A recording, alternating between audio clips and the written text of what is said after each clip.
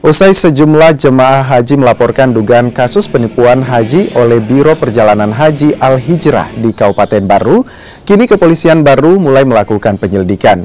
Sejauh ini tim penyidik Polres Baru sudah memeriksa saksi. Total saksi yang diperiksa mencapai 10 orang. Sementara jemaah Biro Perjalanan Haji lainnya yang berjumlah sekitar 41 orang juga akan dimintai keterangan. Sebelumnya sejumlah jamaah haji yang baru pulang berhaji merasa tertipu oleh Biro Perjalanan Haji alias Travel Al-Hijrah di Kabupaten Baru. Mereka mengaku diberangkatkan haji tanpa visa haji. Laporan terkait dengan uh, travel haji, uh, benar ada laporannya, itu melapor pada tanggal 26, 26 Juni. Uh, jadi yang melapor itu perempuan Hendrika Umar yeah. ini perwakilan dari jamaah yang merasa dirugikan oleh travel yeah. tersebut.